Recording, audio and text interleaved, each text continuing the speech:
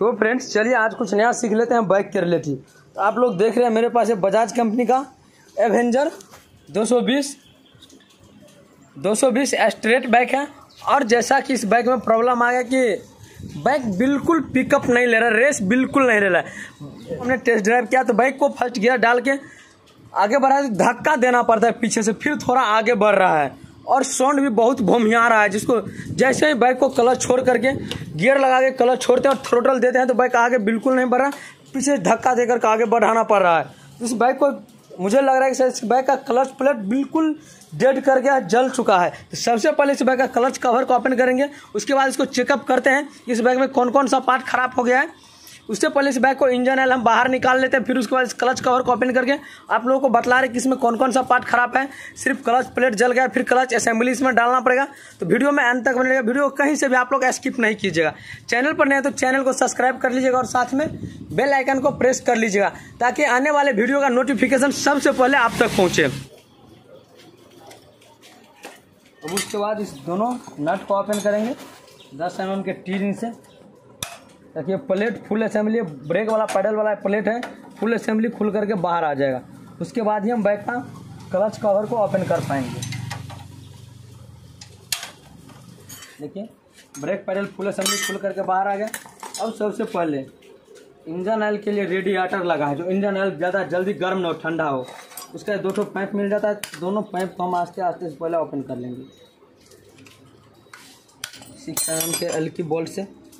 दोनों पाइप को ओपन कर लेंगे।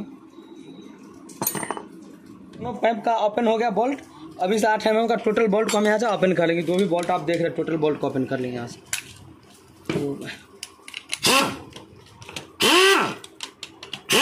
अब इसका ओपन कर लेंगे क्लच कवर को। क्लच कवर मेरा खुल करके बाहर आ गया। देख लें हम साइड में रख लेते हैं। क्रैंक वैट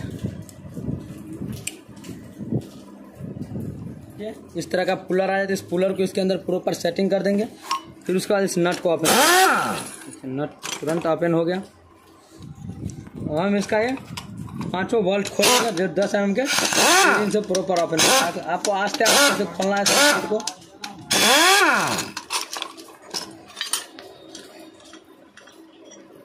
एक चीज़ अब हम आपको देखिए, यहाँ पे बतला रहे क्लच हाउजिंग में जो नट लगा है। नज़दीक से दिखाओ ना। तो फ्रेंड्स, आपको हम बतला दें, इस क्लच हाउजिंग में जो नट लगा है, इस नट के बीच में एक कट लगा है चारों तरफ़ से। तो इसका मतलब ये हो इसे उल्टा चूड़ी है। तो इसको जिस तरह से हम और बैग को नट टाइट करते हैं, उस तरह से इस बैग का नट ओपन होगा। नट ओपन हो गया। हम इसका आस्ते से क्लच प्लेट निकाल लेंगे यहाँ से।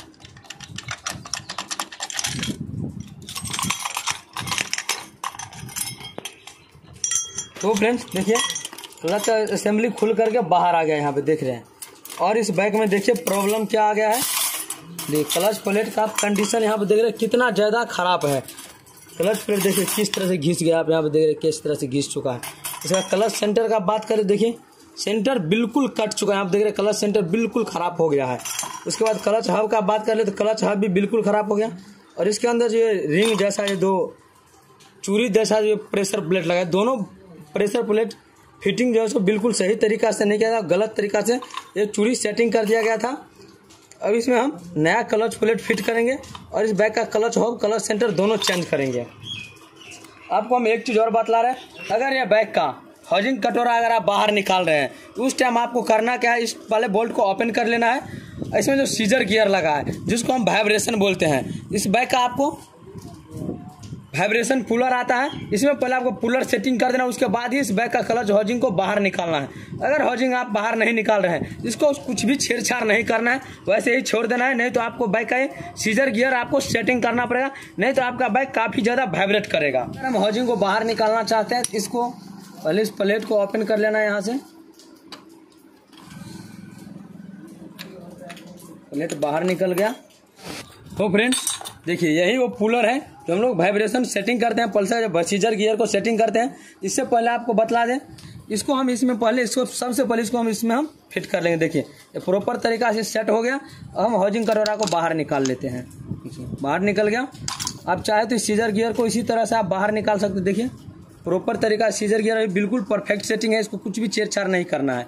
सीजर गियर को किस तरह से सेटिंग किया जाता है, ये भी आपको इस वीडियो के अंदर बतला देंगे। वीडियो में अंत तक बनेगा वीडियो कहीं से भी आप लोग स्किप नहीं कीजिएगा। देखिए टोटल पार्ट को हम अच्छा से क्लीन कर लिया यहाँ पे। और हाउजिंग फिट करने से पहले आपको सीजर गियर को आपको सेटिंग कर लेना है इसी तरह से।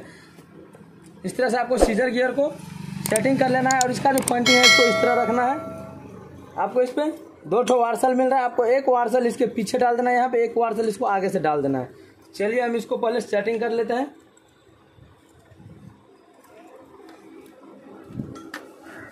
सीजर गियर पिनियन को, देखिए प्रॉपर ये सेटिंग हो गया।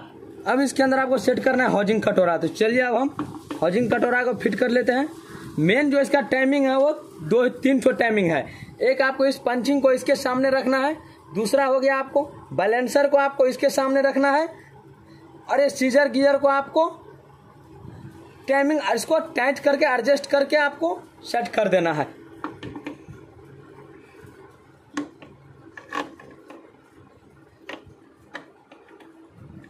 थोड़ा इसको आगे पीछे करके इसके अंदर इसको प्रॉपर सेटिंग कर लेना है। देखिए प्रॉपर ये सेट हो गया। अब इसके अंदर आपको डाल देना है। और जिन कटोरा का जो वार्सल है इसको इस तरह से डालना है देखिए। वार्सल मेरा फिट हो गया। ये हब भी इसका ख़राब था और ये क्लच सेंटर भी इसका ख़राब हो गया था। तो अब हम देखिए मार्केट से नया क्लच हब मंगाए हैं जिसका प्राइस है दो सौ इकसठ रुपया और इसका पार्ट नंबर है D K one zero one five six four. ये इसका पार्ट नंबर है दो सौ इकसठ रुपये इसका प्राइस प्राइस है और यहाँ पर लिखा हुआ है क्लच सेंटर। कर लेते हैं। बजाज का जेनवन पार्ट है, देखिए आप क्वालिटी भी बिल्कुल परफेक्ट है। उसके बाद देखिए यहाँ पे, ये क्लच सेंटर इसका पार्ट नंबर हो गया यहाँ के, आप देख लीजिए। D K one zero one five six nine इसका प्राइस का बात कर ले तो एक सौ चौरासी रुपये इसका प्राइस है। पैकिंग डेट का बात कर ले तो 2021 का ये पैकिंग बहुत पुराना माल है, बहुत पुराना पैकिंग है। चलिए, और इसका क्लच प्लेट का बात कर ले तो देखिए यहाँ पे। ये इसका क्लच प्लेट है और ये एक हज़ार बाई एक हज़ार बिरासी रुपया इसका प्राइस है और ये पैकिंग का बात कर लेते दो हज़ार उन्नीस का ही पैकिंग है। ये काफ़ी पुराना पैकिंग है, पर ये पार्ट खराब नहीं हुआ अभी, क्योंकि ये बिल्कुल नया पार्ट है। पार्ट नंबर का देखिए पार्ट नंबर घिस गया है यहाँ पे। पार्ट नंबर हम आपको नहीं बतला सकते हैं। देखिए क्लच प्लेट यहाँ पे बिल्कुल परफेक्ट है जेनवन क्लच प्लेट है। इसमें आपको चार, पाँच ठो क्लच प्लेट सेम मिल जाता है। एक आपको छोटा, थोड़ा डिफरेंट क्लच प्लेट है। चलिए फटाफट से इसमें फिट कर लेते हैं। क्लच प्लेट फिट करने से पहले आपको इस तरह का दो ठो रिंग जैसा आपको, चूरी जैसा आपको प्रेशर प्लेट मिल रहा है। देखिए एक प्रेशर प्लेट को आपको इस तरह से नीचे की तरफ़ डालना है, दूसरा जो प्रेशर प्लेट आप देख रहे हैं, इसको आपको इस तरह से डालना है। इसका जो कॉलर बना है, इस कॉलर को आपको नीचे रखना है, इस तरह से देखिए, इस तरह से आपको डालना है, देख रहे हैं आप। इस तरह से आपको डालना है तो चलिए इसमें हम छोटा वाला पहले क्लच प्लेट फिट कर लेते हैं। फिर उसके बाद एक प्रेशर प्लेट यहाँ पर डाल देते हैं। फिर उसके बाद एक क्लच प्लेट डाल देना है। फिर एक प्रेशर प्लेट डाल देना है। इसी तरह से आपको छः ठो क्लच प्लेट और पाँच ठो इसके अंदर प्रेशर प्लेट और सबको फिट कर लेना है। क्लच प्लेट टोटल मेरा प्रॉपर सेटिंग हुआ इसका हम क्लच सेंटर को यहाँ पे फिट करेंगे। इसमें आपको कैसे भी आप सेट कर सकते इसमें आपको पंचिंग नहीं किया कि आपको इसी के सामने फिट करना है। तो अब हम क्या करेंगे, इसमें एक छोटा सा बॉल टाइट कर लेंगे यहाँ पे। उसके बाद इसको हम फिट कर लेंगे यहाँ पे, इस तरह से। इसको थोड़ा आगे पीछे कीजिएगा तो प्रॉपर आपको सेटिंग हो जाएगा।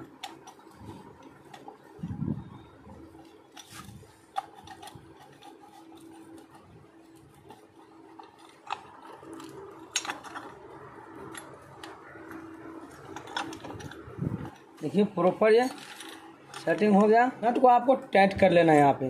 पहले इसको वार्सल डाल देना है।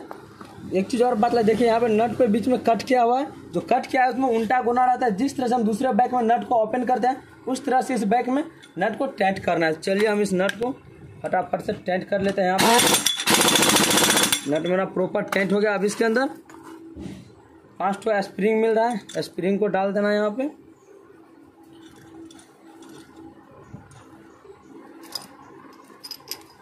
उसके बाद इस प्लेट को फिट कर लेना है यहाँ पे।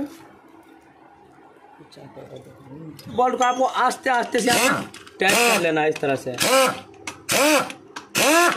अब इस पर हम फिट करेंगे। करेंगे क्या? बैलेंसर जो वेट है इसको। इसमें आपको सुनटा गुना मिल रहा है। इसमें आपको उल्टा चूरी बिल्कुल नहीं है। पहले हम इस नट को यहाँ पे फिट कर लेते हैं। नट यहाँ पे। नट मेरा प्रॉपर टेंट हो गया। अब इसको हम, इसका प्लेट अब टाइट कर लेंगे यहाँ पे।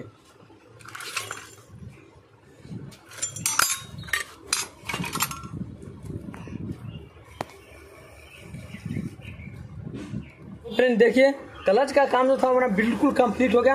अब इस सीजर गियर को बैलेंसर पुलर राइस को हम खोल करके बाहर निकाल लिए। अब इसके ऊपर ये जो प्लेट है, इस प्लेट को हम यहाँ पे फुल टाइट कर देंगे।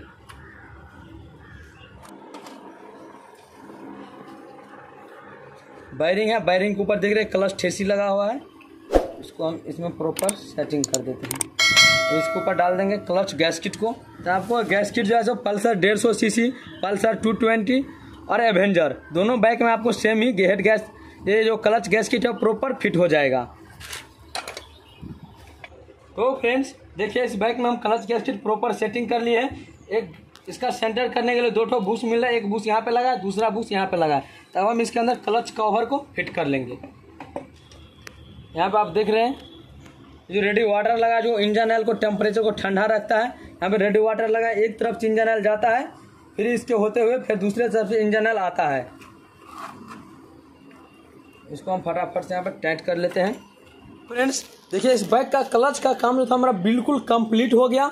और आपको बतला रहे थे इस बाइक का जो सीजर गियर किस तरह सेटिंग किया जाता है। इस टॉपिक में हमने एक वीडियो ऑलरेडी बना रखे हैं। तो आपको नीचे डिस्क्रिप्शन बॉक्स में सीजर गियर सेटिंग करने का लिंक मिल जाएगा। तो तब तक के लिए इतना ही। मिलते हैं बहुत जल्द हम फिर आप लोगों के साथ नेक्स्ट वीडियो में।